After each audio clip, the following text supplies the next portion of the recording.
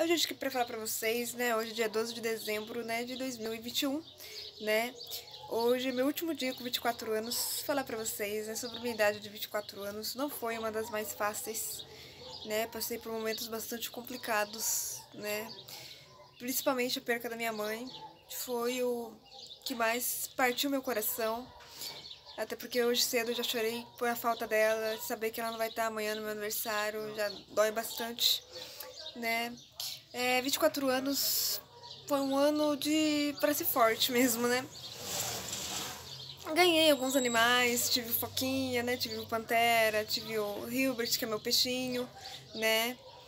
É, assim, de conquistas, tive reconhecimento na internet, várias visualizações no YouTube, tive uma curtida do Zé Neto, do Zé Neto Cristiano, né? É, tive séries, né? Também que eu entrei nessa onda de séries, Bates Motel, é, The Good Doctor, é, Round 6, é, Jonas, né, Jonas Brothers também chegou assim pra me dar uma alegria a mais né, neste ano.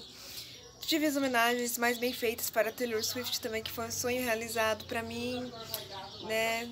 É assim, né?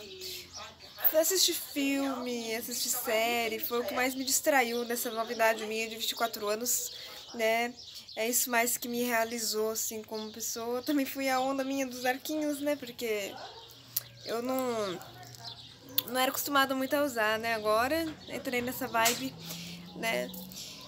Então, gente, ano, meus anos de 24 anos foram puxados, né? Por ter perdido minha mãe, mas eu creio que é, foi um ano de renovação também, porque eu me tornei mais forte, porque tendo perdido minha mãe, eu aprendi a ser mais responsável, aprendi a cozinhar, aprendi a cuidar melhor da casa, né? Aprendi a valorizar mais as pessoas. Então foram esses ensinamentos que eu tive com a minha idade de 24 anos, né? Que eu vou carregar assim comigo a vida inteira, né? Então é isso, gente, né? Me despedindo hoje dos meus 24 anos, né? Claro, eu não tive namorado, como sempre, emprego, faculdade, filhos, mas tive muitos aprendizados para me fortalecer como ser humano que eu sou. E é isso.